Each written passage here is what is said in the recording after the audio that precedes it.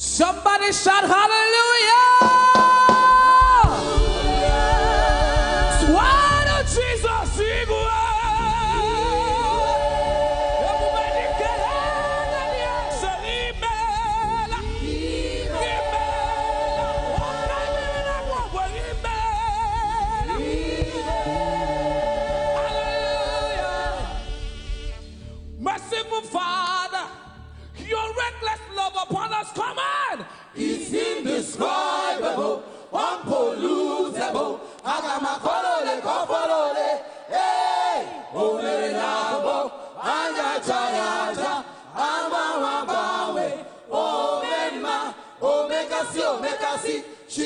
China chana mogu, chine bulimelu, bube, ebube lime ebube, ebube mbekube,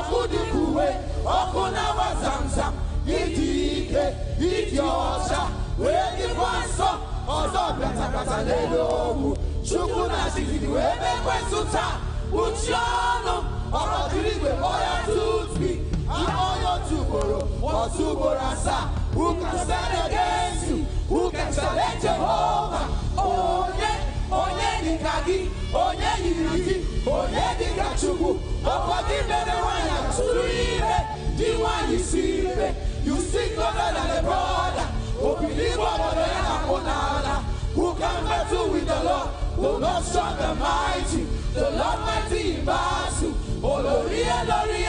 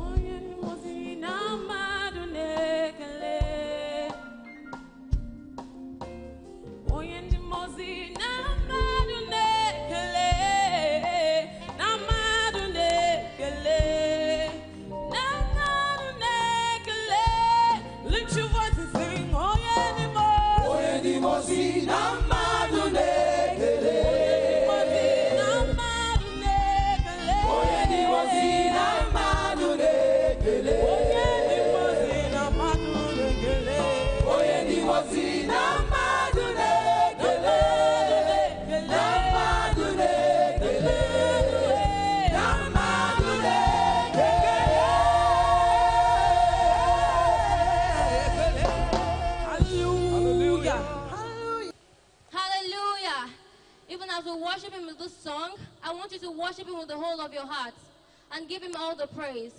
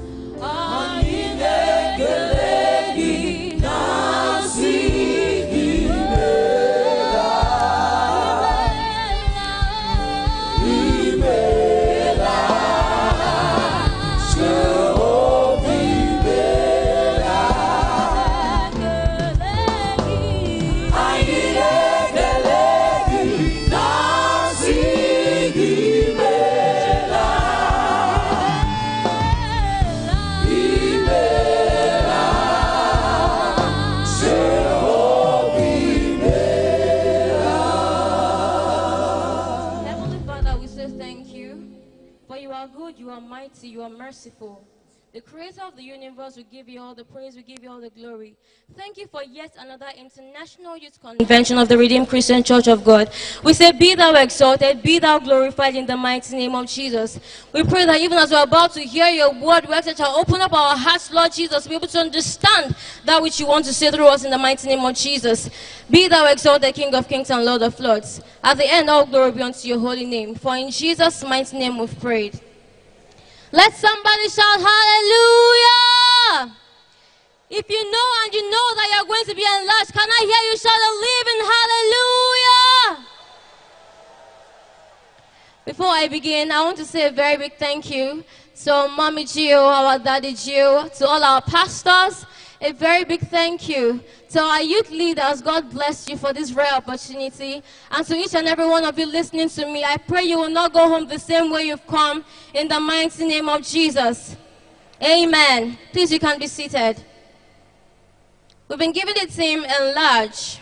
And it's been an amazing time in IYC 2023. How many of you are witnesses to that? Can I see you wave your hand to the King of Kings and Lord of Lords? All right. And we'll be taking our text from the book of 1 Peter chapter 2 verse 9.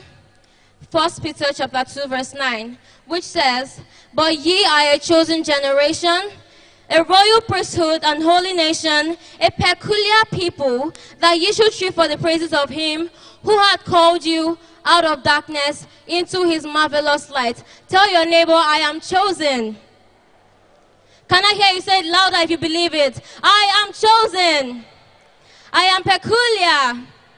I am a royal priesthood. Amen. So we're talking of enlarge. Now, what does it mean to enlarge? Enlarging means expansion, it means becoming wider, it means becoming better.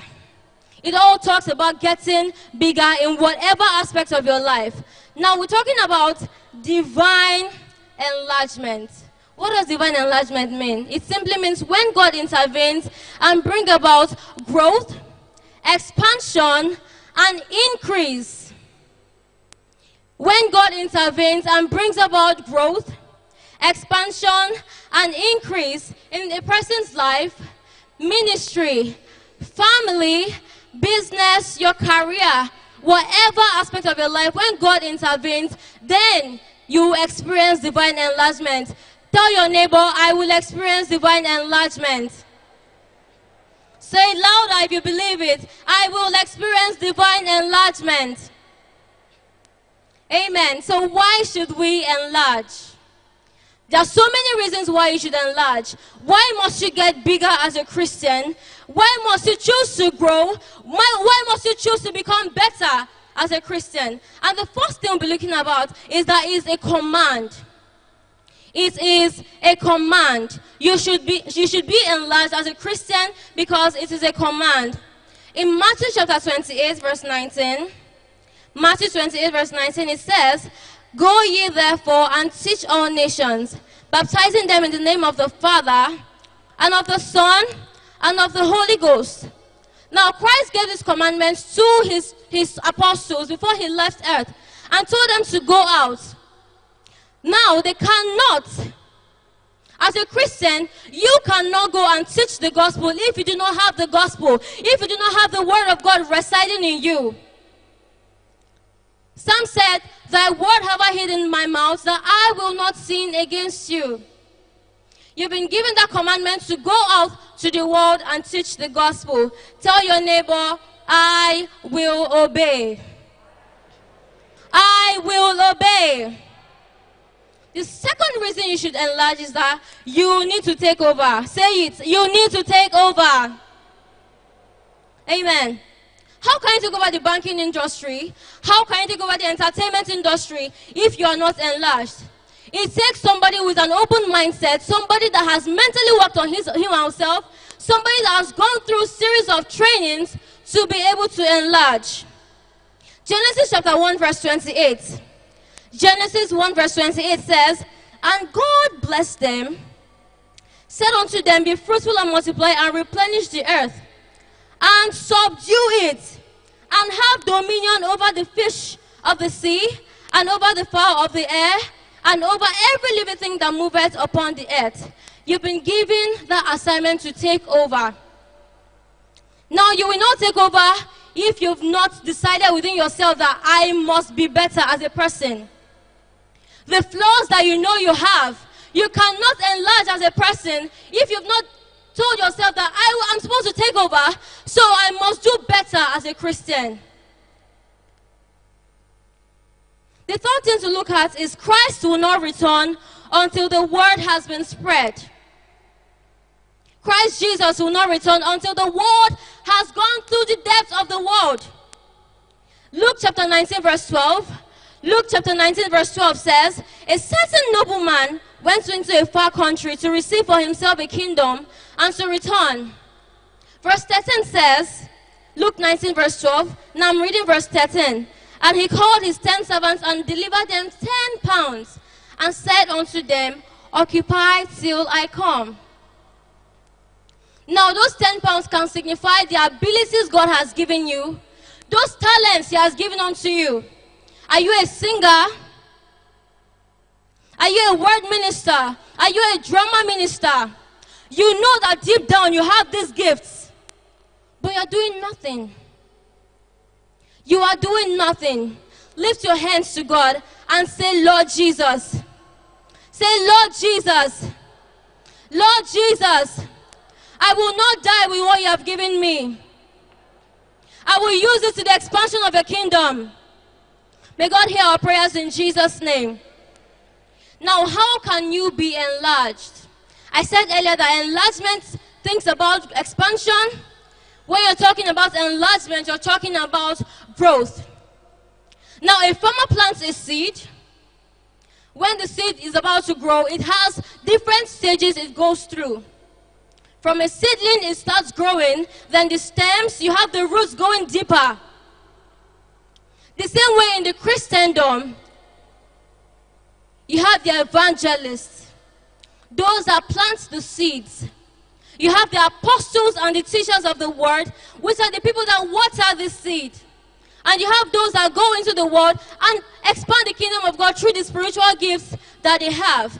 We're talking about how we can enlarge. The first thing to note is that you should desire expansion. Say after me, desire expansion. In Daniel chapter 1, verse 8a, but Daniel proposed in his heart that he would not defile himself with a portion of the king's meat, nor with the wine which he drank. Now, every change begins with a burning desire. For you to grow, you must have a burning desire. If you have a weak desire, it is not going to pay for the sacrifices you need to make. Believe me or not, it's just like a tenant that has been fed up of paying house rents for so many years and says, Oh no, I want to become a landlord. Yes, the desire is there. But the first month passes, nothing. The second month, no action. The third month, no action.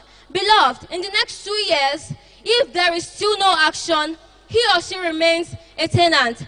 I pray for every tenant in the house this, this evening. I pray for every tenant in this evening. The Lord will enlarge you to become landlords in Jesus' name.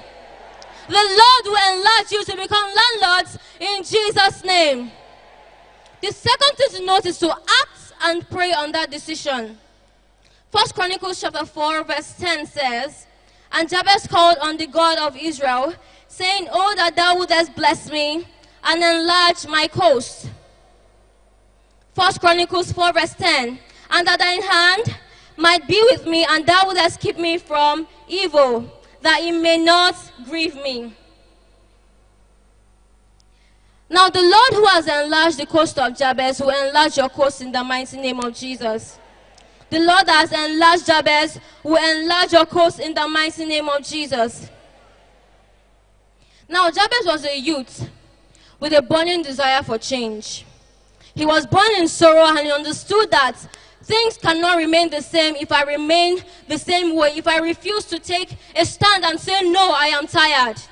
And he cried to God, and God answered him. God granted that which he requested. Now, Jabez was a youth. Can I ask you, what are you asking God for today? Yes, you've told God, I need this, but is that desire truly in you? Do you truly desire Him? May God help us in Jesus' name. The third thing to note is that you must stay close to your spiritual leader. In 2 Kings chapter 6, verse 1 to 7, it tells us of the sons of the prophets that knew that the tent they were in was too small to accommodate them. It was too small to accommodate them. And so they told the prophets that we need more. We need a bigger space. And they went forth into the forest to cut down the trees. And as one of them was cutting the trees, it says in 2 Kings chapter 6, verse 1 to 7, 2 Kings verse 6, chapter 6, verse 1 to 7, verse 5 peculiarly, it says that the man, when he was felling a beam, the axe head fell into the water, and he cried, Alas, for it was borrowed. What did the man of God do? He simply asked, Where fell it? And he showed him the place. Now, I want you to note two things here. First, they realized that the place that they were in was too small. Secondly, their spiritual leader was close by. So you can imagine what would have happened if the prophet was not close by. They would have been in a very big trouble. They would have been in a very big trouble. I believe that after this meeting, every youth in this place will see the need of the church and will grow towards it in the mighty name of Jesus. Now, the Lord has given our Father and the Lord a vision, Vision 2032, to win 40 million souls to the kingdom of God. And can I tell you that this cannot be achieved if you've not decided to enlarge spiritually, if you've not decided to enlarge mentally, and if your capability is not enlarged, you need to enlarge your capacity to be able to go further in life. May God help us to stay close to our spiritual leaders and never, never neglect the anointing upon their lives in the mighty name of Jesus. So every problem that you are facing, the anointing that you service will work for you and swallow such problems in the mighty name of Jesus. Number four, partner with others. Luke chapter 5, verse 1 to 10 tells us of the account of Simon Peter. He was a fisherman. So after Jesus went into his boat and taught the people, Simon Peter had toiled all night. He had toiled all night and he caught nothing. In verse 5, when, Simon, when Jesus told Simon to let down his net, he told Jesus that they had caught nothing, but at the instruction of Jesus, he was going to let down his net and they had a great, catch. Verse 7 says, Luke chapter 5, verse 7. Luke chapter 5, verse 7. And they beckoned unto their partners which were in the other ship that they should come and help them. And they came and filled both the ships that they began to sink. The power of partnering with others. Now, in the case of Moses, in Exodus chapter 17, Exodus 17, when Israel was at war with the Amalekites, and Moses was raising his hands up, and at the point he got tired. Because when his hands were up, the Israelites had victory. And the moment his hands were down, they were losing. But because of Aaron and Hur, they began, they were his pillars. Beloved, can I tell you that where your strength alone cannot take you, the grace of the people around you can take you. Say, Father, say, Father, help me to associate with those that you want for my life. I will not lose my destiny helpers. May God help us in Jesus' name. The early church grew with ceaseless prayers, they grew in evangelism, and signs followed them. They had a faith that produced obedience, they had a passion that produced unity, and they had this desperation that produced prayers. May God help us to be steadfast in Him in Jesus' name. Now we've seen different ways we can enlarge. Now, what are the benefits of enlarging? Luke chapter 10, verse 25. Luke chapter 10, verse 25 tells us, 27 rather. Luke chapter 10, verse 27 tells us that it helps us to improve our relationship with God. When you are enlarged spiritually, when you know that yes, I must grow in Christ, it will improve. There is no way that you say, I must get better with Christ, that you will not grow in Christ. The second thing says that is to transform your life. Second Corinthians 5 verse 17 says, Therefore, if any man be in Christ, he is a new creature, and all things are passed away. Behold, all things have become new. You will be transformed in Jesus' name. You will be transformed in Jesus' name. Amen. The third thing to notice that it fortifies you from sin. It will fortify you from sin. First Corinthians 10 verse 13 tells us that God will not give us something that is a temptation that is bigger than us. No temptation will come upon you that you will not be able to shield in Jesus' name. Amen. There are so many benefits to enlargement. Spiritually, mentally, there are so many benefits. And there are as well hindrances to this enlargement. The first thing to note is your prayerlessness can hinder you. First Samuel chapter 12, verse 23. First Samuel 12, verse 23 tells us that your prayer, if you are prayerless, it is a sin to be prayerless as a Christian. Growing up, I was taught that a prayerless Christian is a powerless Christian. If you do not give yourself to prayer as a Christian, you do not have any power over the devil. oh. That's why you must continue to stay. First Thessalonians chapter 5 says we should pray without ceasing. Say, Father, I receive the grace to pray. The second hindrance to note is that your human nature can hinder you. Psalm 55 verse Psalm 51 verse 5 tells us that in sin we have been born. Psalm 51 verse 5. In sin you were born. But, but Romans chapter 6 verse 5 to 6 tells us that despite this nature, that we will rise in Christ's resurrection. Say, Father, I refuse to yield to sin. I pray that our flesh will not control us in Jesus' name. Now, what does this imply? This implies that God wants you to fulfill purpose. You are enlarging to fulfill purpose. Acts chapter 1, verse 8 it says, But ye shall receive power after that the Holy Ghost is come upon you, and ye shall be witnesses unto me in Judea and in all of Samaria and unto the uttermost parts of the earth. The Holy Ghost power is there to increase you in Jesus' name. The Holy Ghost power will increase your capacity in Jesus' name. Now, in conclusion, God can never enlarge a person that has not given him or herself wholeheartedly to God. God is not enlarging you to be obese. Rather, He's enlarging you to fulfill capacity. Say, I will fulfill my purpose on earth. I will fulfill my purpose on earth. I will not remain the same in Jesus' name. Can I tell you that Vision 2032 is real? Evangelism is real. And you cannot go far if you have not decided to expand yourself. If you've not decided to expand your capacity as a Christian, may God help us in Jesus' name. We as Christians will not fall short of God's purpose for our lives in Jesus' name. Even as I come to a close, I encourage you that even as daddy comes up, on this exalted altar, please yield to God and may God help you in Jesus' name. Please bow down your heads, bow down your heads and pray. Say, Father, say, Father, help me, help me, Lord, that I will not fail you. Help me to expand the kingdom. Make that your prayer this evening. Make that your prayer this evening. Say, Father, help me, Lord Jesus, that I will do that which you want for me and I will not fail you. Our Heavenly Father, we thank you, Lord Jesus, because you're amazing. We thank you because you're an amazing Father. You are the source. Oh Lord, you are our rock. You are our fortress. We give you all the glory. Thank you, Lord Jesus, because you've brought us together today, Lord Jesus, to hear your word.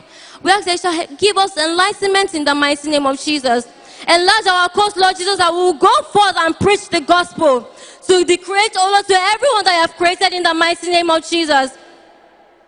We ask that we will not, we will never give the devil room, Lord Jesus, to give us fear, to make us depressed even as Christians. Thank you, King of Kings, Lord of us, for you know you've our prayers, Lord Jesus. Be thou exalted, mighty man in battle, for in Jesus' mighty name we've prayed. Let somebody shout hallelujah.